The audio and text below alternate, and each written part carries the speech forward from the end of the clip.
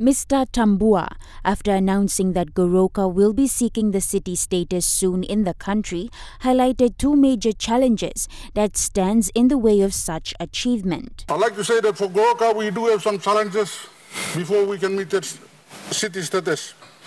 Two of our biggest challenges is the water issue and urban drift with gratitude for the government of the day for enabling the town expansion program, Tambua made mention the next steps for Goroka in its path to becoming a city. We are thankful for the Marape government to implement the land purchase or the town expansion program.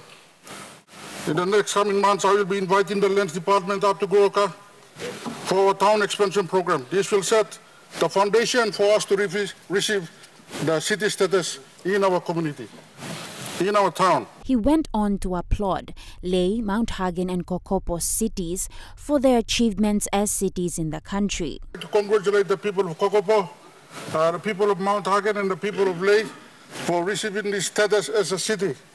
Uh, this status will, uh, it's a, it's a, it's, uh, it will change the dynamic of developing our towns it will move our towns to the next level. Natasha Ovoy, National, EMTV News.